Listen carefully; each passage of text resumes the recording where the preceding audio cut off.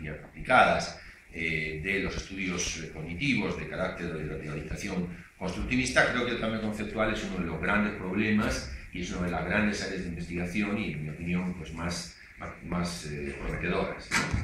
Eh, pero lo voy a hacer, obviamente, como ya he comentado, pues pensando, digamos, en diferentes especialidades, no solo en historia, que lo que yo, y ciencias sociales, que es lo que más he trabajado en los últimos años, sino también pues, en biología, aquí había un grupo de personas de, de, biología que me, decían, poner algunos ejemplos, efectivamente, de biología, y también procuraré poner algunos otros ejemplos de otras, de otras especialidades, ¿eh?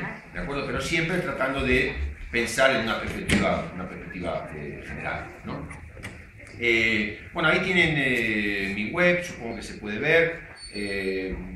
En mi web yo siempre coloco pues, cosas que pueden ustedes compartir o que pueden ser útiles, los últimos trabajos, las últimas investigaciones, vídeos en YouTube, en fin, en definitiva material que si pues, es de utilidad para ustedes o para su actividad eh, investigadora, docente, discente, pues ahí está, digamos, para, para compartirlo. Tiene también un mail de contacto en la, en la página, si algún momento quieren enviar algún mail, yo respondo, les aseguro que no inmediatamente, no muy rápido, pero respondo a todos los, respondo a todos los mails. Así que eh, con mucho gusto, si alguna cosa quiere intercambiar o dar su opinión, pues encantadísimo de, de, hacerlo. ¿eh? Eh, y bueno, vamos pues ya si quieren con los, con los, con los contenidos. aquí no hay nadie de técnico, ¿no? porque yo en realidad casi como soy un poco hiperkinético, me gusta moverme más entre las... Si hubiera un, pudiera pasar las transparencias, eh, eh, un, mouse inalámbrico o algo así, sería más cómodo para mí, porque permanecer aquí, aquí sentadito una hora va a ser medio, tortura. me gusta más estar más cerca de todos ustedes. Pasa que como esto está un poco alto, no, podría moverlas. Eh, pero bueno, en todo caso vamos a, vamos a comenzar y si viene el, mouse lo vamos a bien. ¿De acuerdo? Ah. Pero es bonito, eso. No tiene, no quiero. La persona que amablemente fue a. No quiero.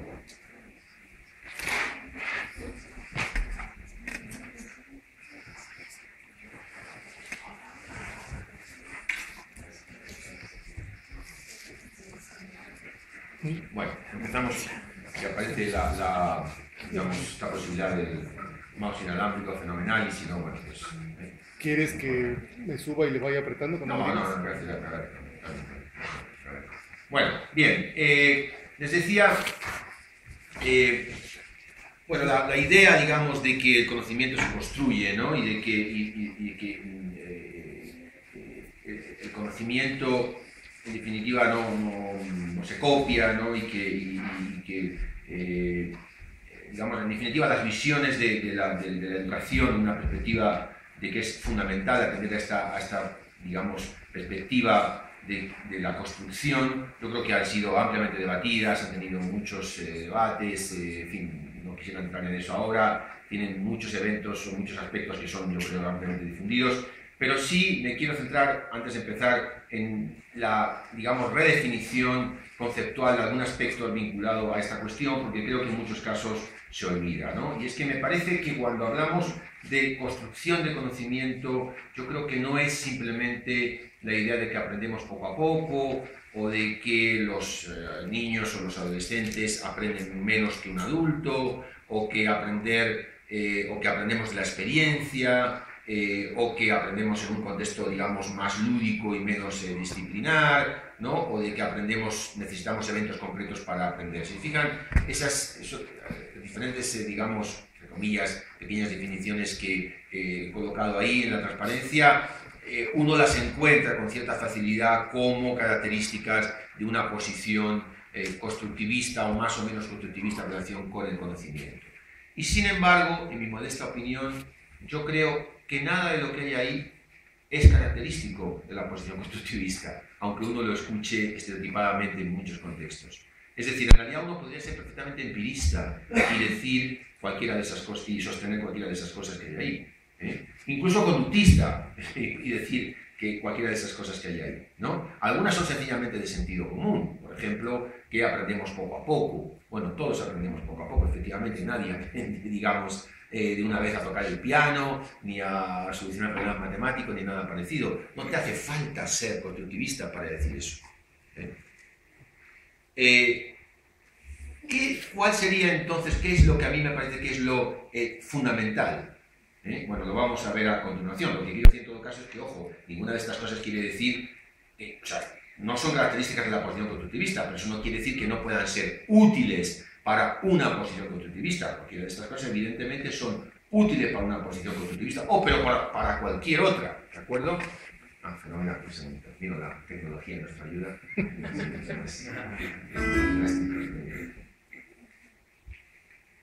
Si me puedo mover, resulta más.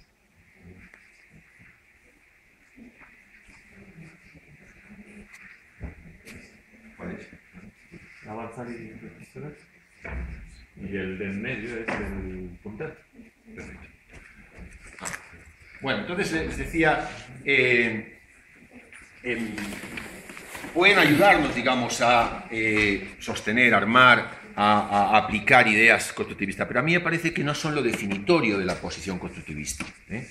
A mí me parece que ese no es la cuestión fundamental. Yo creo que lo que diferencia la posición constructivista de otras posiciones en el ámbito educativo es eh, lo que vamos a ver a continuación.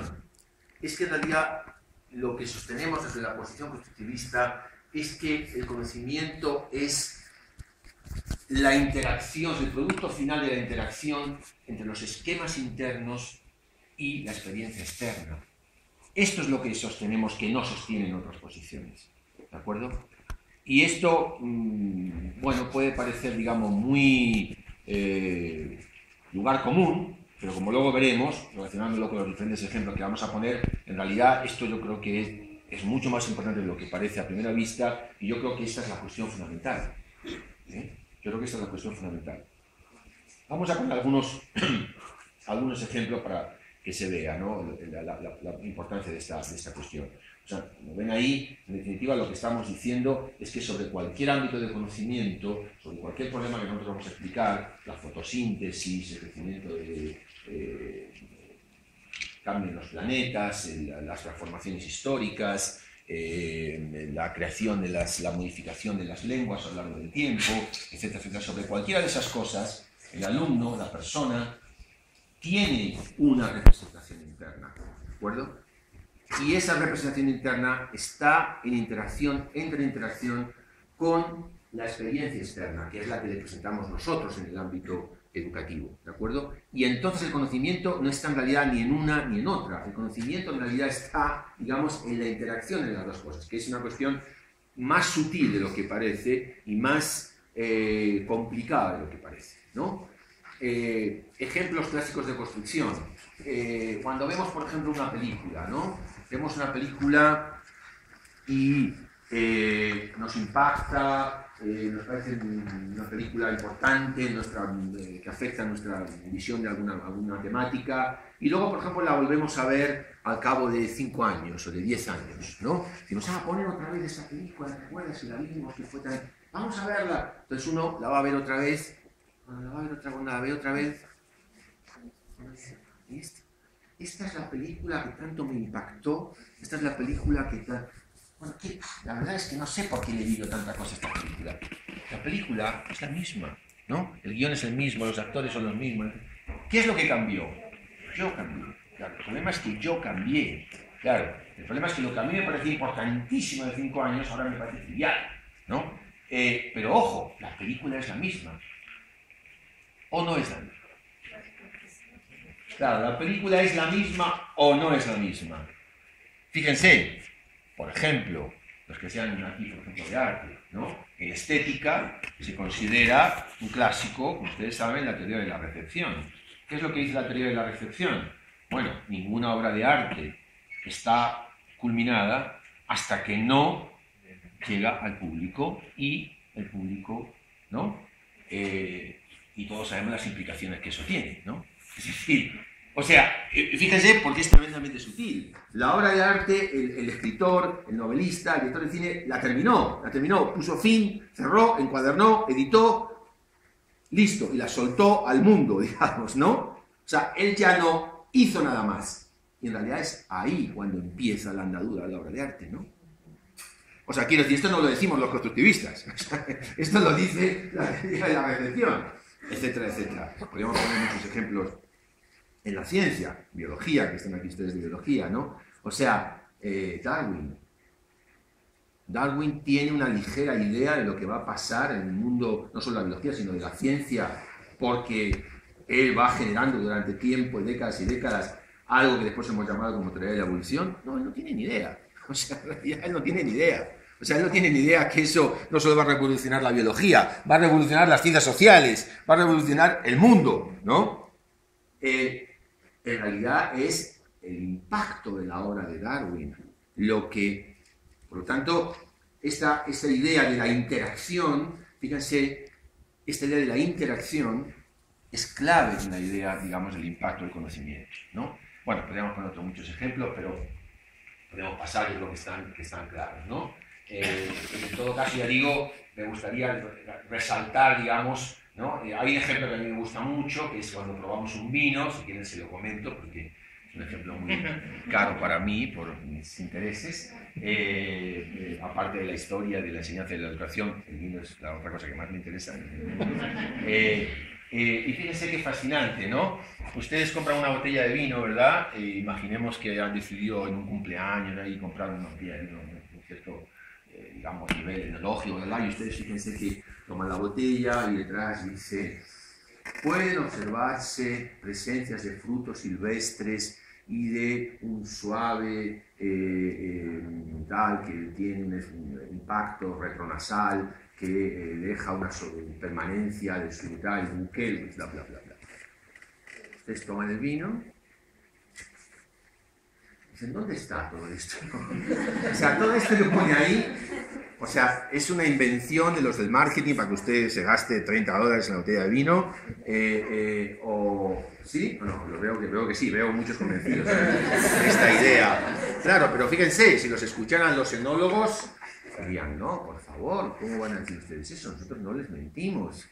Esto está aquí, si decimos frutos silvestres, aromas de frutos silvestres, los aromas de frutos silvestres están aquí. Pero ustedes dicen,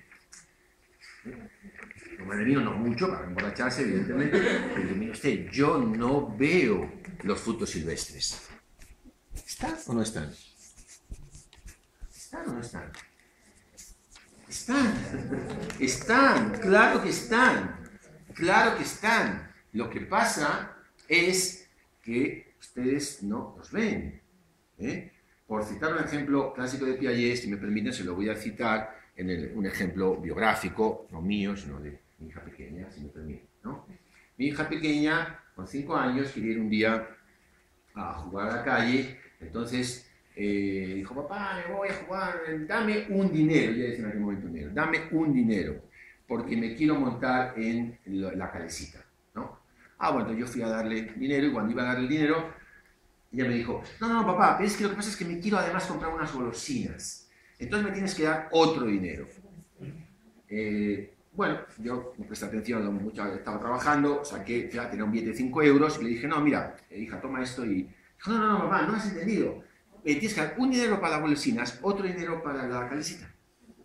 No, hija, pero mira, si con este billete tú tienes para, para los de matemáticas, tú tienes para las dos cosas, ¿de acuerdo? No, papá, no, no, no, ya te lo traigo, papá, yo te lo traigo. Así, hasta que yo ya digo, mira, hija, esto es lo que hay, ¿entiendes? O sea, si lo quieres bien, si no, pues, ¿no?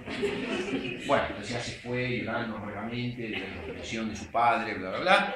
Bueno, y a cabo de tiempo volvió, ¿no? Volvió, la verdad yo ya me había olvidado completamente de, de la anécdota, y, y, yo, yo venía muy contenta. Ay, hija, tal, qué bien, Candela, ¿qué pasó? Ay, papá, no sabes lo que me pasó, no sabes lo que me pasó. ¿Qué te pasó, hija? Papá, mira, me monté la calecita, me compré las golosinas y además me dieron tres dineros. Claro, ¿se dan cuenta? Es decir, eh, bueno, ya, ya estaría feliz con este ejemplo, ¿no? Obviamente. Pero aparte de que Pérez estaría feliz con este ejemplo, claro, a ella le está pasando lo mismo que decían ustedes que les pasaría con el vino. O sea, ella no ve que en el billete de 5 euros, que es un dinero, ¿Qué es un billete de 5 euros? Un dinero. Usted dirá, bueno, pero tiene 5 euros ese dinero. Sí, pero mm, a los 5 años eh, es un dinero para la calecita, otro dinero para la calecita, ¿se dan cuenta? O sea, claro. Eh, Pero si se dan cuenta, eso lo podemos aplicar a prácticamente cualquier ámbito, ¿de acuerdo? A prácticamente cualquier ámbito. Decíamos una película, bueno, si ustedes fueran, en vez de eh, estudiantes de esta maestría aquí, fueran estudiantes de cine, cuando ustedes van a ver una película, ustedes ven otras cosas. Yo veo a menudo programas con mi hermano, por ejemplo, que es productor de televisión, y mi hermano enseguida empieza a decir, ah, bueno, pero qué increíble, están filmando con cinco cámaras, y entonces... Claro, a mí no se me ocurre pensar cuántas cámaras, pero yo no lo... Ah, y no, claro, fíjate, no, pero qué interesante, porque la sintaxis que utiliza, o sea, yo no sé ni de qué habla, ¿no? Pero él lo ve, ¿de acuerdo? Entonces, bueno, fíjense que en definitiva lo que está pasando es que uno ve las cosas que uno puede ver. Y lo que uno puede ver depende del conocimiento que tiene. Pero ese conocimiento uno cambia, es decir, en síntesis, por terminar con el ejemplo del vino, Efectivamente, si uno no es aficionado al vino, a uno le dan un vino que tiene todas esas características y que es la cosecha no sé cuánto, y efectivamente uno le ponen otro vino normal y corriente, digamos, y uno no, puede, uno no aprecia la diferencia. ¿Por qué uno no aprecia la diferencia? Porque uno no tiene esquemas conceptuales para aplicarlos a las experiencias que produce ese, ese, ese, ese líquido en sus papilas gustativas y entonces no puede interpretar el impacto de las papilas gustativas. O sea, algo tan elemental como eso. O sea, no es que no puede interpretar la mecánica cuántica, no es que no puede interpretar la sintaxis de una película, no, no puede interpretar el impacto de, la, de un líquido sobre la papila gustativa. Si uno tiene uno es enólogo, simplemente con esta acción, fíjese qué cosa tan elemental, acción pura y elemental, o sea, un líquido sobre la papila gustativa, es decir, un segundo, dos segundos. Pero uno desencadena decenas, cientos, posiblemente cientos de esquemas conceptuales que uno tiene.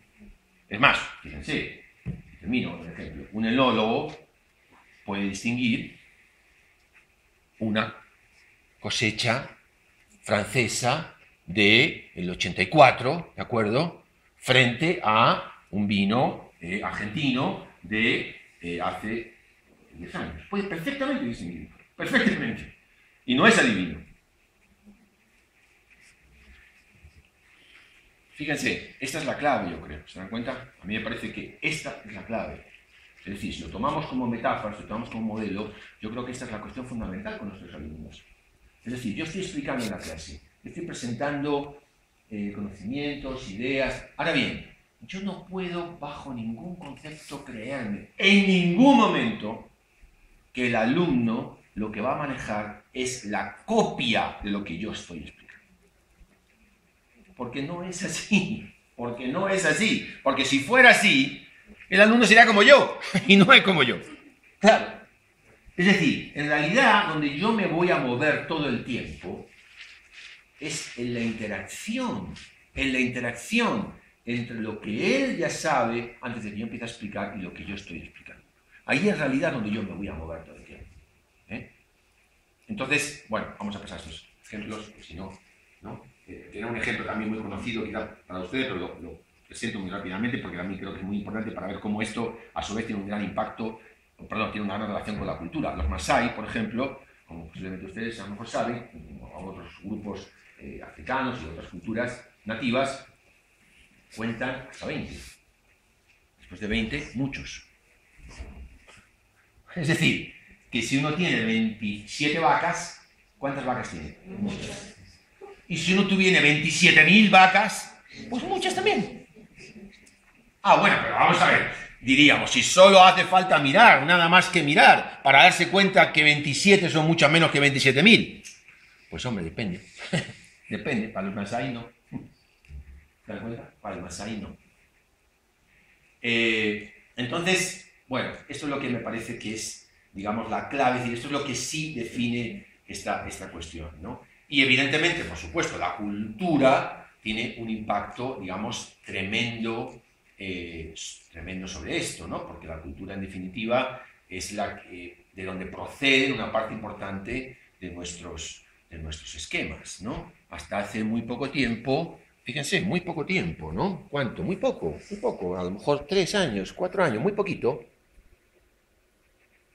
Un hombre y otro hombre que iban por la calle y que se daban un beso eran pervertidos, eran medio despreciables, ¿no? Y en todo caso asociados a prácticas no recomendables. Hoy, al menos en algunos países, son un matrimonio. Parece que a la Iglesia Católica no le gusta mucho esto. Bueno, a mí no me gustan tantas cosas en la vida, no las puedo cambiar, ¿no? Son un matrimonio, o sea, son una familia. ¿Hay algún problema que el esposo le dé un beso a la esposa en medio de la calle?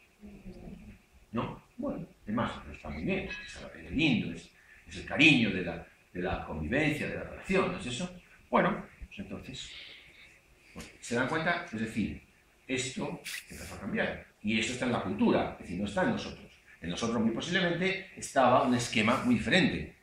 Y la cultura empezó a impactar sobre ese esquema, ¿no? Como esto, otras muchas cosas, ¿no? Eh, bien, entonces, ya digo, aquí llegamos al punto del el cambio conceptual, ¿no? Cambio conceptual es, un, es todo un área de investigación, por ejemplo, fíjense ustedes, eh, para los interesados en la investigación, eh, la última versión del Handbook of Conceptual Change, ¿no? del, del, Handbook, como ustedes saben que Handbook es la palabra que se usa para, gran, como para manual de investigación, digamos, ¿no? el Handbook de Conceptual Change, donde yo junto con mi equipo tenemos el, el, honor de tener un capítulo ahí sobre cambio conceptual en historia, precisamente, si alguna persona se interesa, con mucho gusto se lo puedo enviar por, por mail, editado por Estela Bosniano, una de las grandes investigadoras eh, mundiales sobre este tema, tiene cerca de mil páginas el handbook, ¿de acuerdo? Ya tienen ustedes sobre biología, sobre física, bueno. ¿Cuál es el gran problema, digamos? ¿Por qué, por qué, se, por qué se trabaja tanto hoy día sobre, sobre cambio conceptual? Bueno, porque fíjense, en realidad, como estamos viendo, por decirlo de manera muy rápida, cambio conceptual hoy representa, en términos generales, una reconceptualización de todo el aporte de Piaget, y no solo de Piaget, sino en realidad una gran cantidad de investigadores en ese ámbito, ¿de acuerdo? Donde lo que se hace es no tanto insistir que si está Dios, porque en realidad eso, como ustedes saben, ha sido muy criticado en los últimos años y con razón, ¿no? Sino donde se centra, digamos, la cuestión en el problema relativo a que lo que nos va pasando a lo largo de nuestra vida y a lo largo de nuestra educación es que cambiamos nuestros conceptos. Eso es lo que se pasa. ¿De acuerdo? Y la educación, básicamente, el problema central de la educación uno de los problemas centrales, por supuesto, la educación también tiene otros problemas, ¿no? como digamos, la, socialización, digamos, desde el punto de vista de la instrucción, digamos, entonces se dan cuenta que el, asunto fundamental es precisamente el cambio conceptual. Es decir, que eh, entendiendo por, ojo, entendiendo por conceptos, también teorías, ¿no? Porque en muchos casos, digamos, no solo es el concepto de familia, sino el concepto de eh, eh, inercia o el concepto de fotosíntesis. Obviamente que debajo de ese concepto, vinculados a ese concepto, están las teorías. Es decir, en realidad las teorías son los racimos del concepto. Pero, digamos, cuando se dice cambio conceptual, se está diciendo fundamentalmente las representaciones ¿no? Eh, que definen determinadas eh, experiencias, digamos, paradigmáticas y que dan sentido. ¿De acuerdo? Es decir, decimos hoy teoría de la evolución. O sea, nuestro, nuestra cultura es básicamente una teoría, una teoría evolucionista. ¿no? Cualquiera de nosotros habla de la evolución y hace la evolución una explicación en sí misma. ¿no? Es decir, cualquiera de nosotros, por ejemplo, si alguien nos, cuenta un problema, oye, fíjate, fulanito, que le pasó esto, y luego se divorció, y luego se deprimió, y no sé cuánto, cualquiera de nosotros automáticamente dice, bueno, claro, pero es que lo que pasa es que hay que entender que ya fulanito de pequeño, o sea, es decir, ¿se dan cuenta? Es decir, el tiempo, es decir, el paso del tiempo en el sentido de cómo unas situaciones tienen lugar a otras, es en sí mismo un tipo de explicación.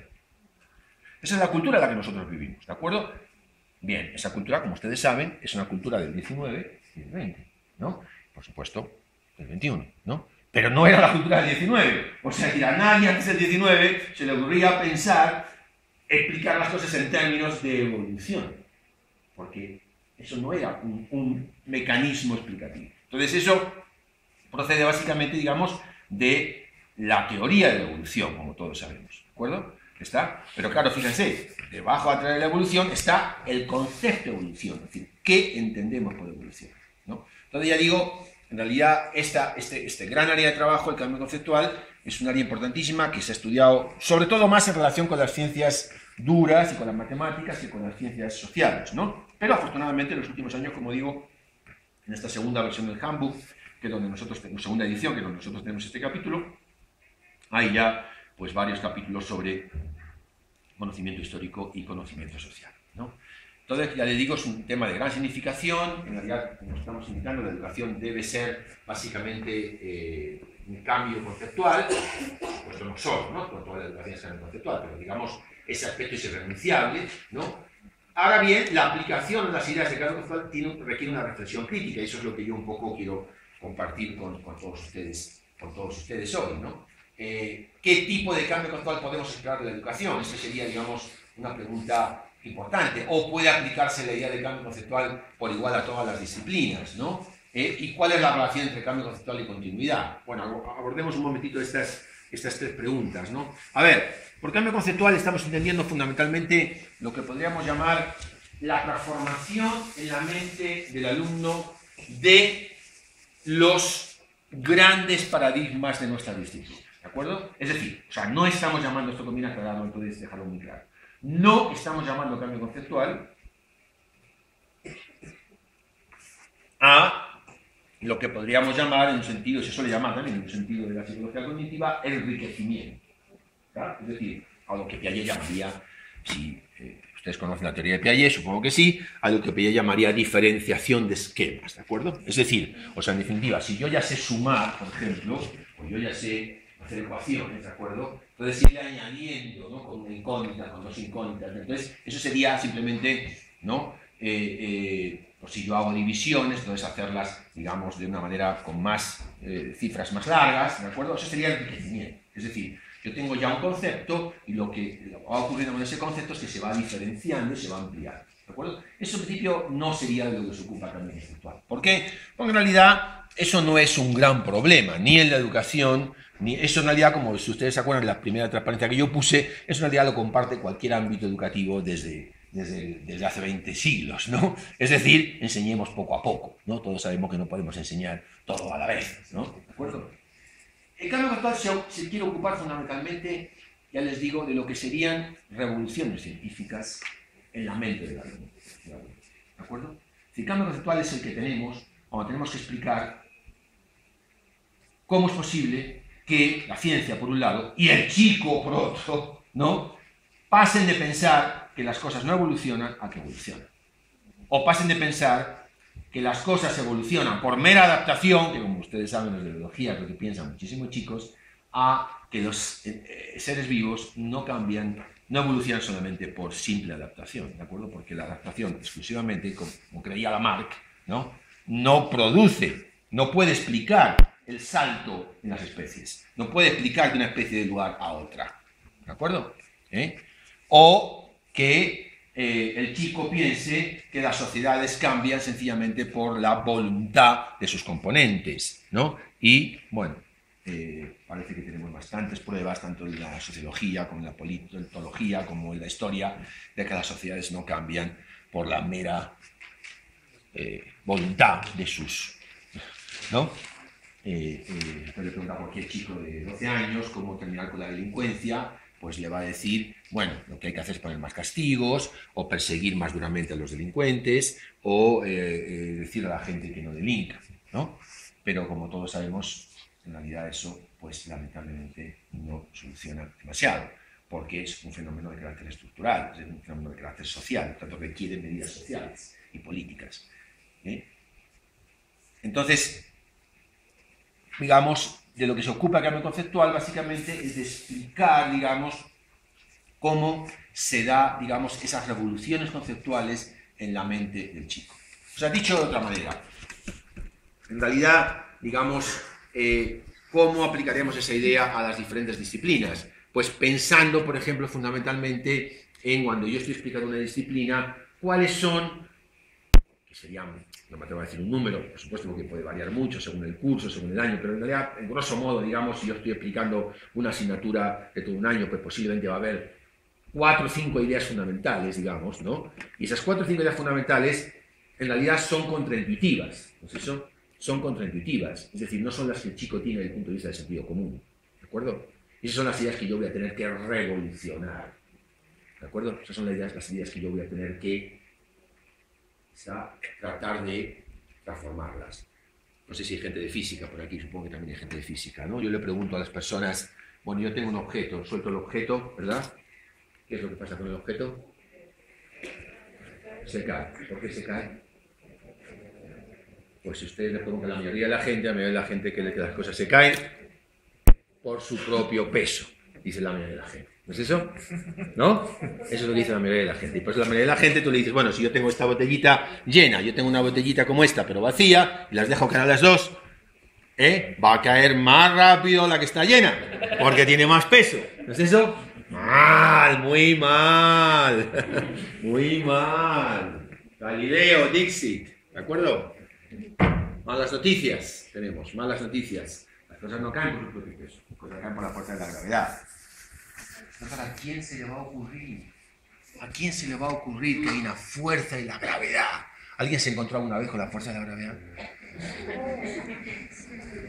Hola, ¿qué tal? ¿Cómo estás? Fuerza de la gravedad. No, es muy difícil encontrar la fuerza de la gravedad. Es un concepto teórico, ¿de acuerdo? Y además es contraintuitivo. Es contraintuitivo. ¿De acuerdo? ¿Eh? Entonces, eh, este es el problema. ¿De acuerdo? Este es el problema. Es decir, el problema es que el chico puede llegar incluso a hacer problemas de, relativos a estas temáticas, ¿de acuerdo? Pero luego sigue pensando que las cosas, ¿no? Es todo el trabajo que se ha hecho ustedes sobre misconceptions, llamadas concepciones equivocadas, eh, etcétera, etcétera, ¿no?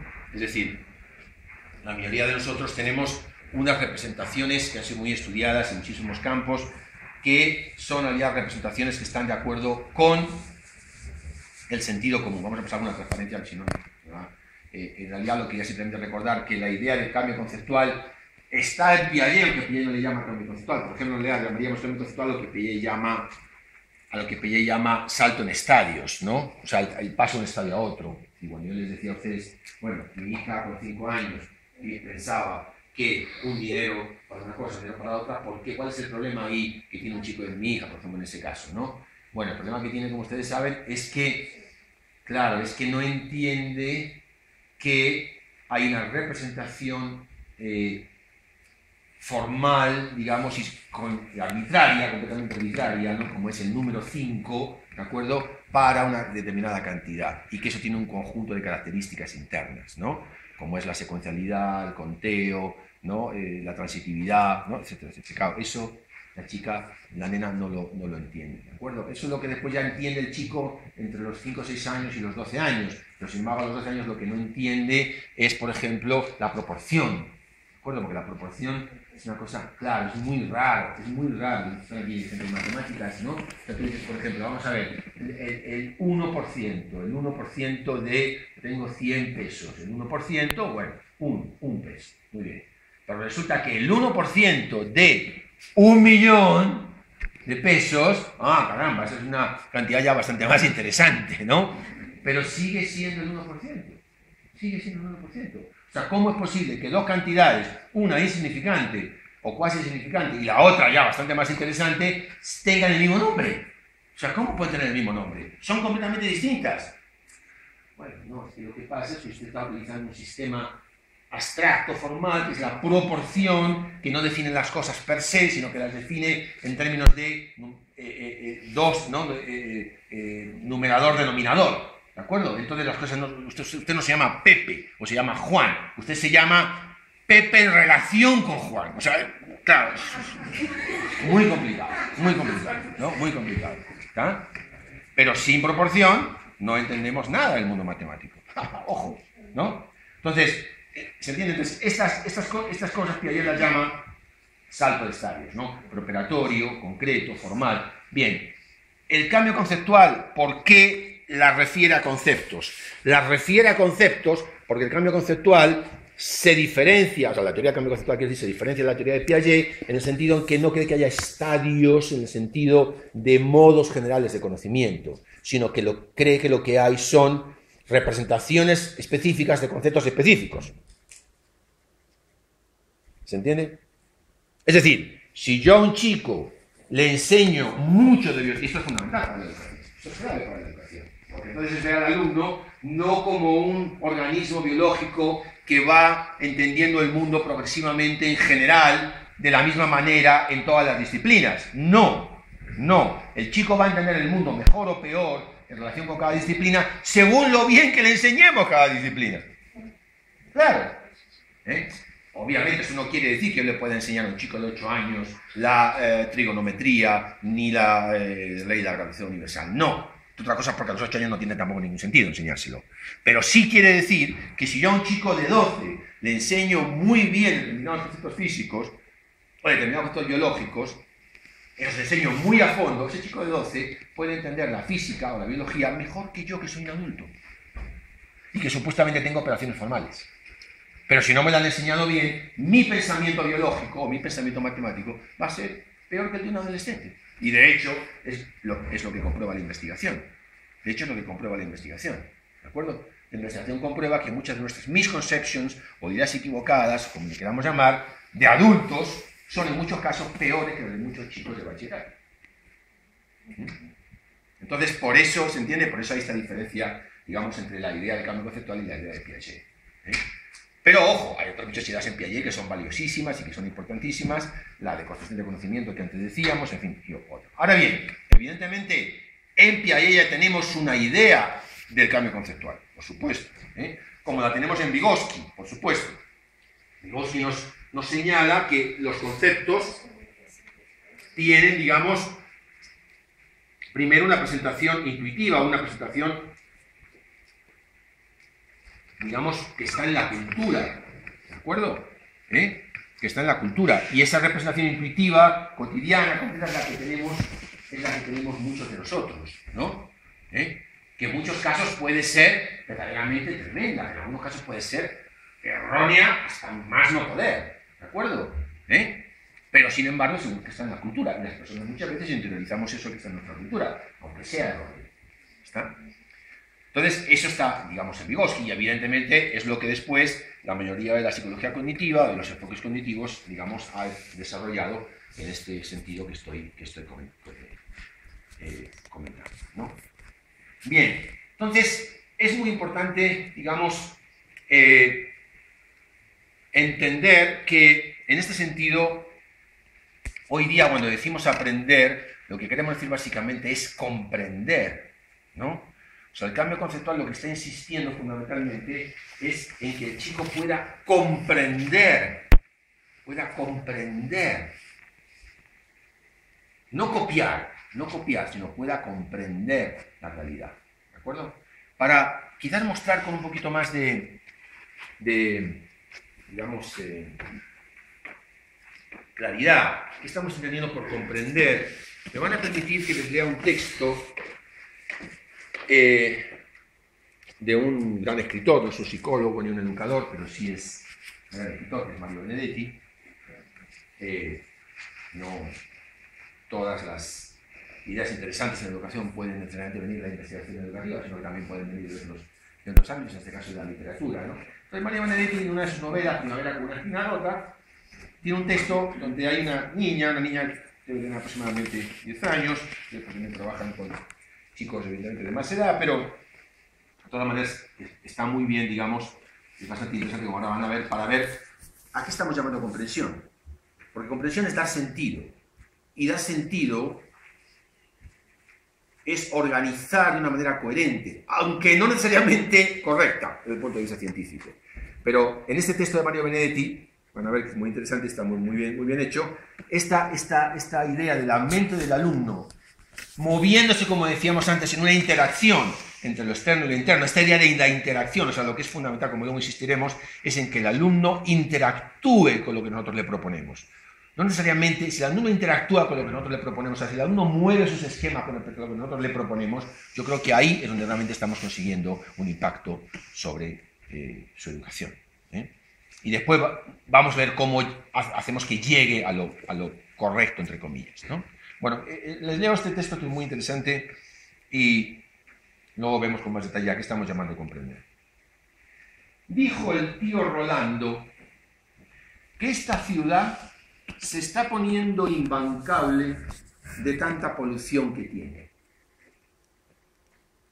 Yo no dije nada para no quedar como burra, pero de toda la frase solo entendí la palabra ciudad.